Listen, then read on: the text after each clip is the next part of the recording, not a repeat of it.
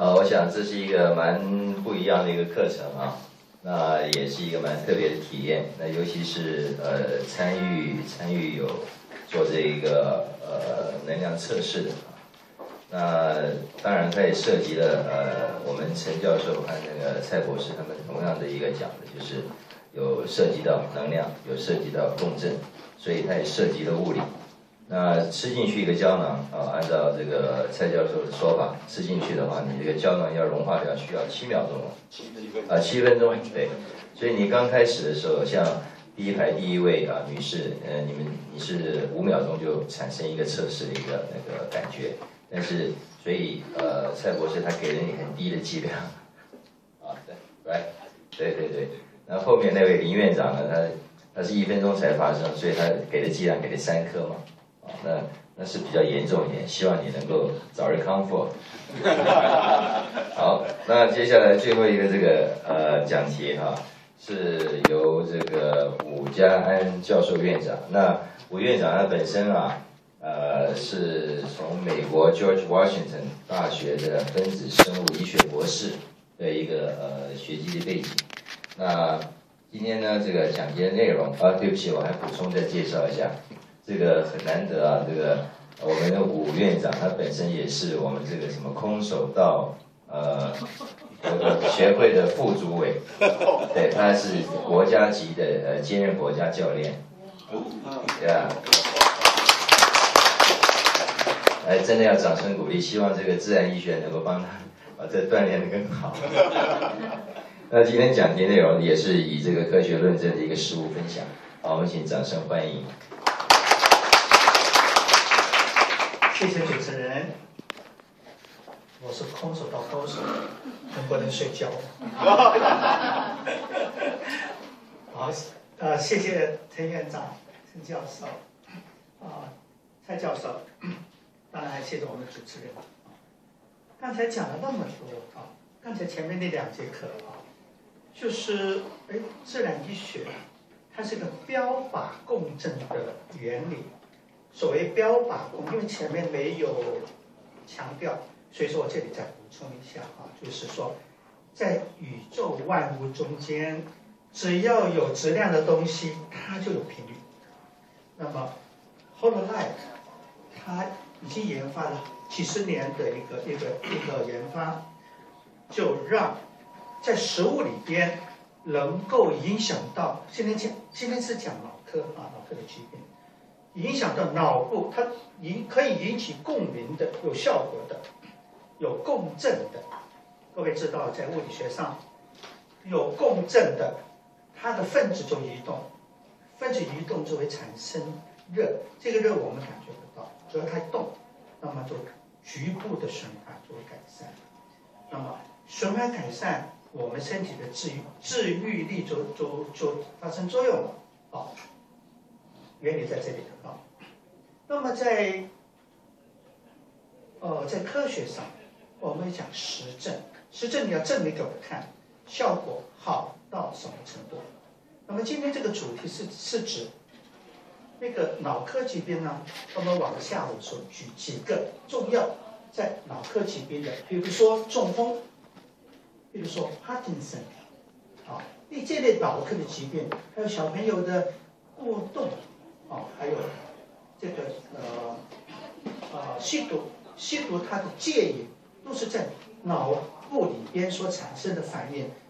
以 Hololive 就是这个产品的一个一个产品的名称，来用在这些人的身上，它在科学上的实证，他们的怎么证明它效果在哪里？就是我今天的内容。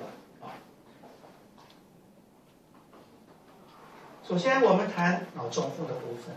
那么，这个是这个研究是在这个南华大学这样一个研究所啊。下面是文献的出处。那么，现现在是讲是研究的方法。我想知道一下，在座医师身份的请举手。好，谢谢您，因为我知道我该怎么表达这个事情。人数十六人，A 组是实验组，B 组是对照组。所谓实验组就是有用加上这个机能水平的。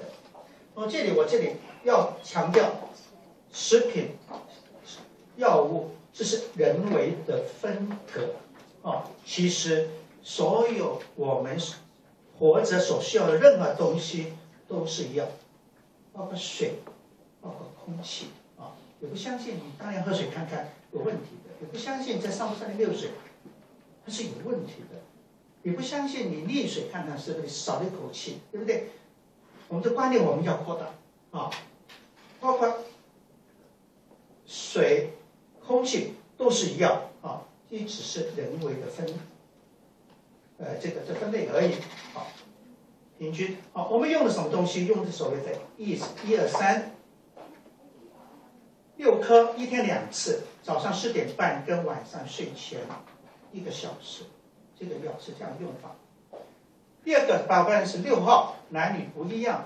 那么每天只吃三颗，在下午两点半，这两种而已。好。那么刚才所处方的，一、七二、三，素食界限，几丁质啦、磷脂啦、大麦草啦、葡萄糖胺啦、呃葡萄籽的、胶原蛋白、桑桑脂啦，还有这个柠檬酸钙，抗坏血钙。还有维生素 B 三，这是一一、二、三的成分，就是日常生活里边我们碰到的。那包包 balance 六，就是丹麦芽啦、山楂、葡萄籽、几丁、聚糖、抗坏血、酸钙、茄红素，这两种是一样，只是比例不同，分别男女，成分就这样子喽。啊，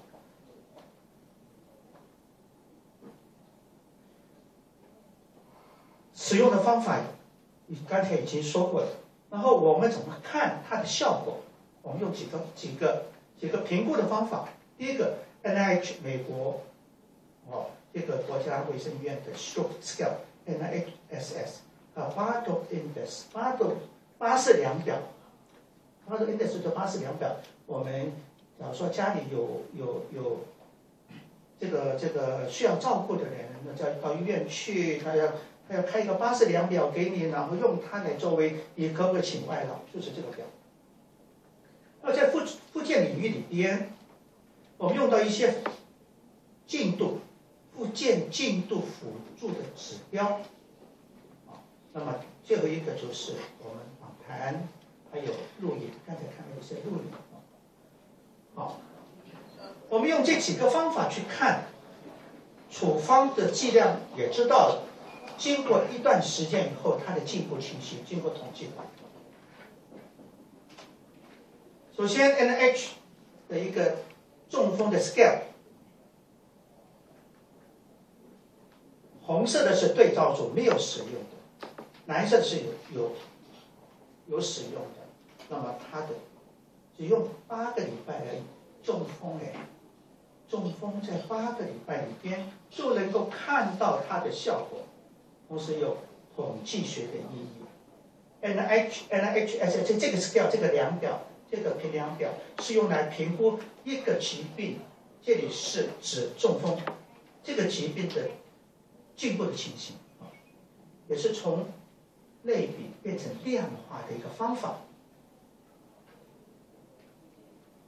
那在这两组人，A 组跟 B 组之间，它的差异在哪里？你看，从刚开始使用到第二个礼拜就已经有统计学的意义了。有意义的组内的差异，第二个礼拜就开始有统计学上的意义了。也就是说，这个效果是非常快速，只要时间够长，我们可以预期，要说要讲。预期我们会得到什么样子一个进度？这个是 NHSS。那么八个八式量表有使用的八个礼拜，它的进步情形；没有使用的，它根本没有改变。八个礼拜，它的改这个改善的的百分比是百分之六十五。啊，那么同样的是。这个统计的方法，在这个第四个礼拜，用 Bardo Index 巴氏量表，第四个礼拜开始统计学的统计学上的意义，然后组类的差别，它是有意义的。那么中风的病人通常是卧床，那么他的体体力、他的耐力能够坐得住，能够坐得住，可以看看我们八个礼拜都时间都延长那么多，它的改善的体型好像是。七十以上做得住的，这个是主类比较。那另外一个量表是看这个它这个附件进度辅助的指标，要看什么呢？看参与周遭人事物的能力。通常中风的病人他是隔离起来，他现在有能力的，他能够参与，把他的活动范围扩大。那么这个经过那么长时间的一个一个八个礼拜的呃，我说治疗好的话，他的平均值就从被动下偶尔能够主动参与的互动，进步到多人主动的参与互动，好，中风，中风的效果只用八个礼拜的时间，在这个自然医学的方法产生。标靶共振共振的原理之下，他能够得到那么好的进步。